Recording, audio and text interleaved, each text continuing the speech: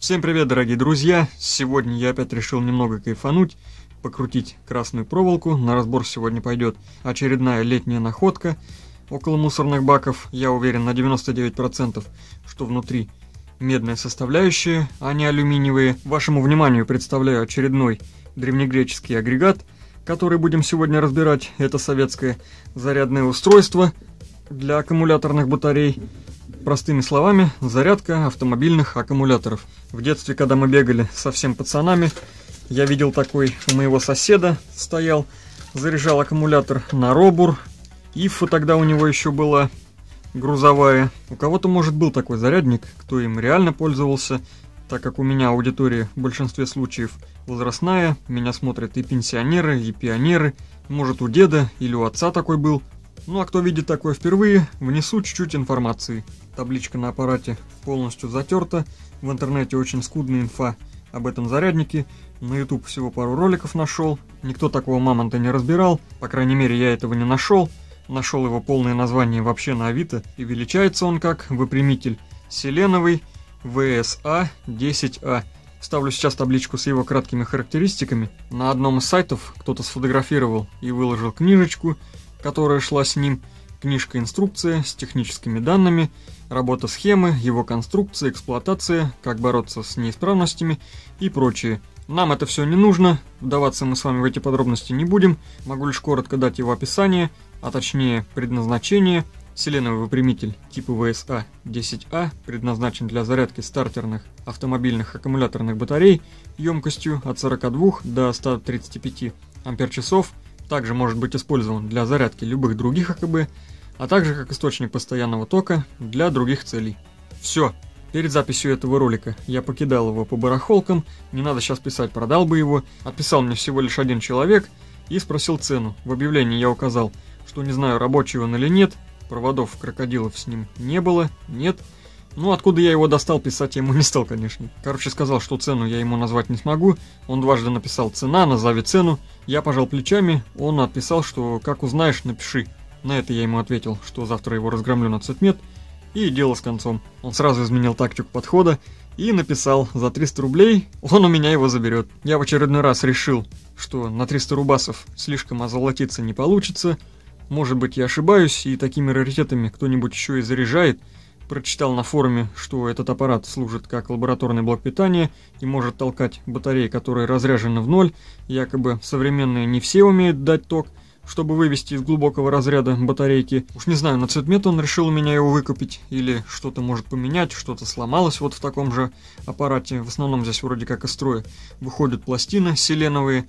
Ну, в общем, не знаю. Здесь, по сути, больше и ломаться нечему. Тут трансформатор внутри, куча проводов, и вот эти вот пластины выпрямительные. Давайте проведем небольшой осмотр перед его разборкой. Вес этого аппарата составляет 6 килограмм, грубо говоря, 6 195 у меня вышло вместе с э, кабелем питания. Табличка полностью нечитаемая, крокодильчиков нет. Здесь вместо крокодильчиков я вижу только вот такие какие-то огрызки со стола. Сбоку тумблер, три положения, 6 вольт, среднее положение, 12 вольт.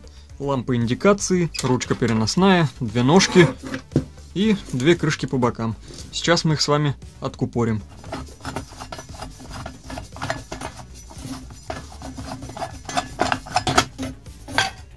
Все готово. Вот первая сторона этого прибора. Здесь у нас предохранитель, куча шайбочек, какие-то выводы под нумерацией 1, 2, 3, 4, 5. В этой подробности я не вдавался, что это такое. Отсюда у нас выходит шнур питания. Сейчас его сразу снимем, чтобы он не мешался нам в дальнейшем при разборке.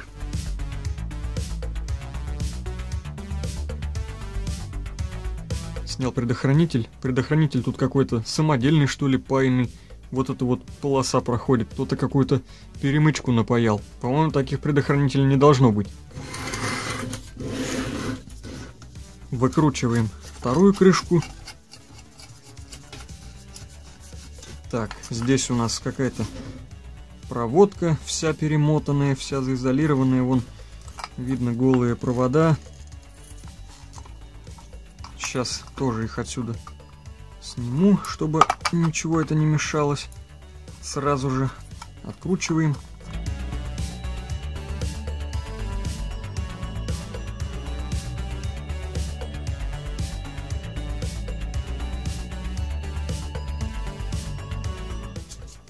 Бумажка какая-то. Вот на вот эти штуки, судя по всему, прицеплялись крокодильчики. На самом деле продумано устройство очень грамотно. Это у меня сейчас провода валялись здесь все на столе. А по идее они должны быть накручены вот на вот этот обод и крышкой закрывались. Все было компактно, никаких проводов торчащих здесь не должно было быть. Итак, здесь у нас разводка различных проводов, которые уходят внутрь корпуса, перемычки, этот вот один провод какой-то подплавленный и клеммы от крокодильчиков. Вот она малюсенькая. Лампочка такая. Лампочка целая. Долго вас томить не буду. Выкручиваем гайку.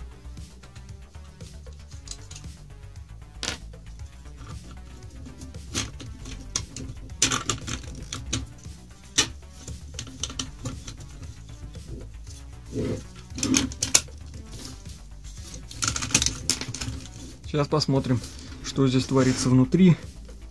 Как тут все... Ух, ё-моё. А провода-то тут кипели. Вон тут поплавленная изоляция. О, смотрите. Да тут прогар, походу, даже. Вон, наверное, провод прогорел. Да. Продал бы я сейчас человеку. Ну, хотя, если человек бы какой-нибудь купил, он бы по-любому здесь открыл все, обслужил, если что-то требовалось. А может пыхнул бы у него, кто его знает. Включил бы так сразу. Сейчас и с этой стороны снимем крышку, всю контактную группу. Я подкручивал. Болтики, возможно, даже будут латунными. Потом проверим с вами. Подозрительный у них такой блеск белый. Возможно, латунь покрытые.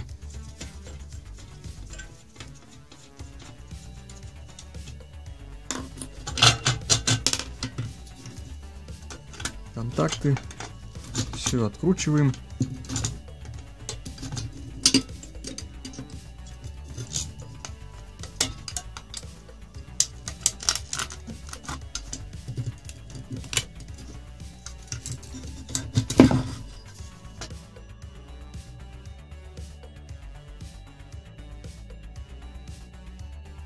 Так, друзья, крышки сняты. Настал, наверное, уже час X. Да нет, еще что-то все-таки держит эту внутрянку. Внутрянка на чем-то держится. Не знаю на чем. Выкручу сейчас и ножки. Посмотрел по драгметаллам. Ничего здесь не содержится. Кроме немного серебра в кнопке в тумблере. Драгметаллов здесь никаких нет.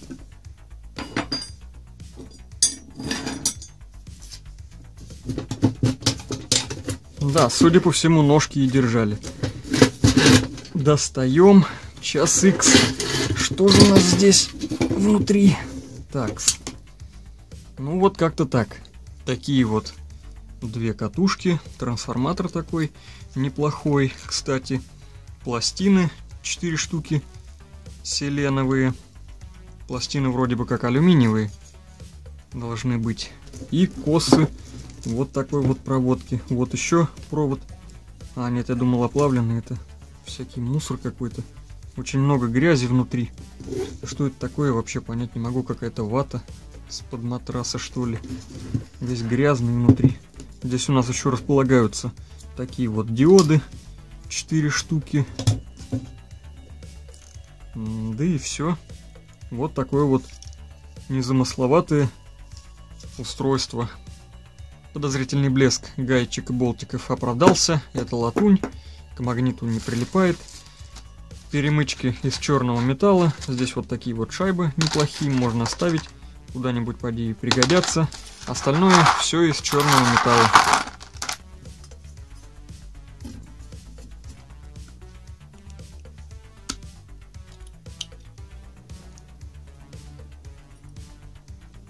Постепенно продвигаемся к самому интересному. Катушки здесь не айс, здесь меди. Особо-то много мы и не достанем. Всю мелочь я уже разобрал, перебрал, чермет отделил. Вытащу сейчас пластину с диодами, вырежу отсюда всю проводку. Будем продвигаться к трансформатору. Небольшая загвоздка. Приходится начинать с пластин, так как здесь нету резьбы. Гайка дальше не идет. Значит, откручиваем пластины.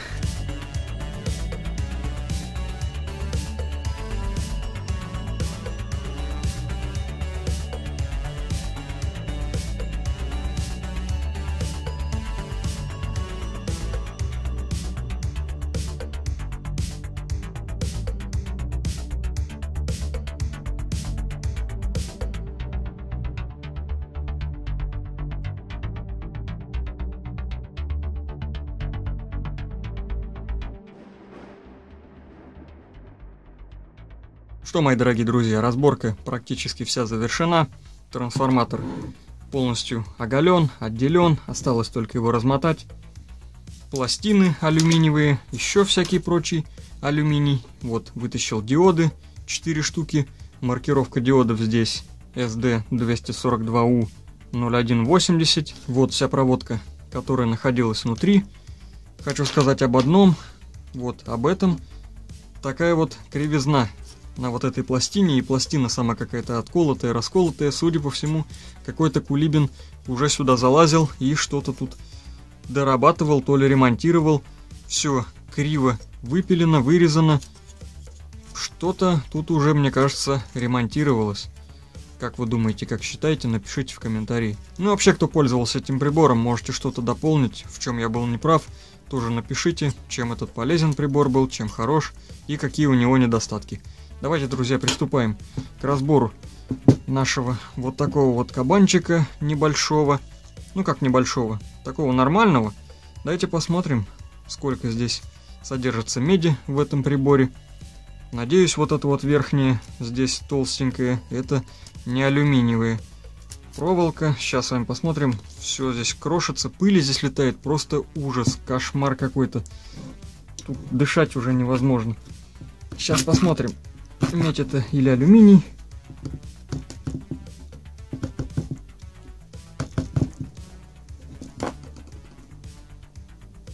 Медь, друзья. Это радует.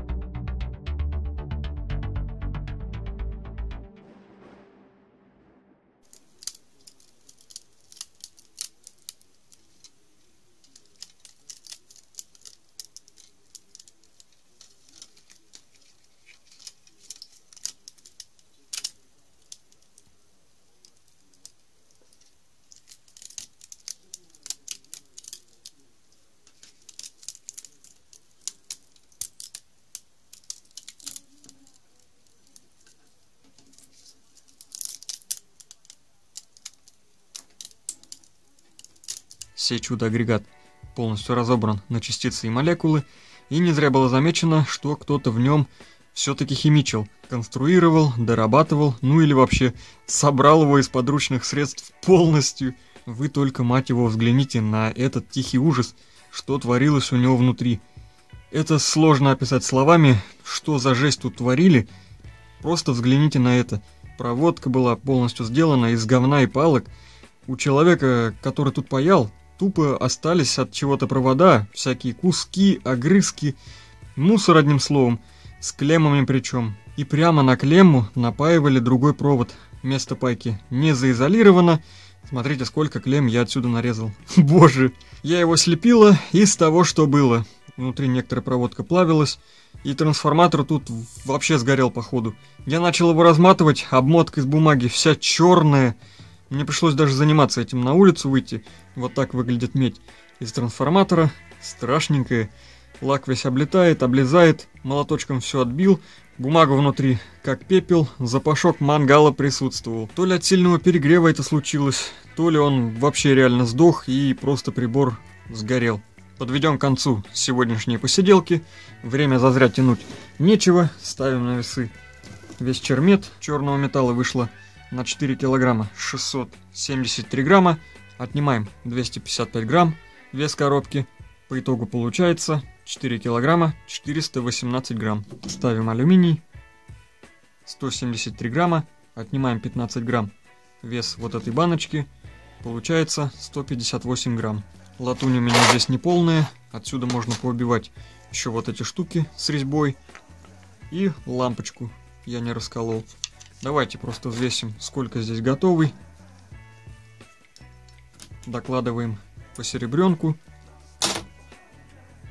105 грамм, отнимаем 15 вес ящичка, 90 грамм латуни.